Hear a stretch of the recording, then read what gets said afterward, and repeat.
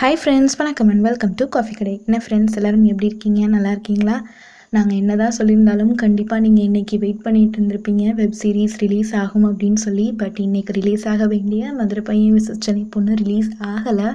அவங்களுக்கே நல்லா தெரியும் கொரோனா வைரஸ் காரணமாக ரிலீஸ் பண்ண முடியல ஒன் ஃபார்ட்டி ஃபோர் அதனால் எப்போ அந்த கொரோனா வைரஸோட இதெல்லாம் எஃபெக்ட்லாம் கம்மி ஆகுதோ அப்போ தான் நம்ம எல்லாருக்கும் பிடிச்சமான வெப் சீரிஸ் கரெக்டான ரிலீஸ் டேட்டில் ரிலீஸ் ஆகும்.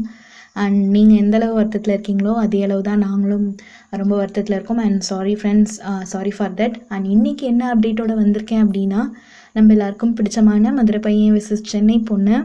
Uh, நீங்கள் எல்லாம் எப்படி ஆஹா கல்யாணத்தை பார்த்து ஃபிஃப்டீன் எபிசோட் பார்த்து ரசிச்சிங்களோ அதே மாதிரி தான் uh, நம்மளுக்கு பிடிச்சமான இந்த வெப் சீரீஸும் பதினஞ்சு எபிசோட் ரிலீஸ் ஆகும் அப்படிங்கிற ஒரு நல்ல இன்ஃபர்மேஷன் வந்திருக்கு. ஸோ இந்த லவ் அண்ட் கிறிஸ்ப் லவ் கண்டிப்பாக ஃபிஃப்டீன் எபிசோட்ஸ் நம்ம பார்த்து ரசிக்க போகிறோம் அண்ட் வெயிட் பண்ணி தான் எல்லாத்தையும் பார்த்து ரசிச்சுக்க போகிறோம் அண்ட் இந்த வீடியோ பற்றி நீங்கள் என்ன நினைக்கிறீங்க அப்படிங்கிறத எல்லாத்தையும் நம்ம கமெண்ட் செக்ஷனில் போஸ்ட் பண்ணுங்கள் அண்ட் எந்த அளவு மதுரை பையன் சென்னை பொண்ணு ரிலீஸுக்காக வெயிட் பண்ணிகிட்ருக்கீங்க அப்படிங்கிறதையும் நம்ம கமெண்ட் செக்ஷனில் சொல்லுங்கள் இந்த வீடியோ உங்களுக்கு பிடிச்சிருந்ததுன்னா லைக் பண்ணுங்கள் ஷேர் பண்ணுங்கள் கமெண்ட் பண்ணுங்கள் மறக்காமல் சப்ஸ்கிரைப் பண்ணுங்கள் தேங்க்யூ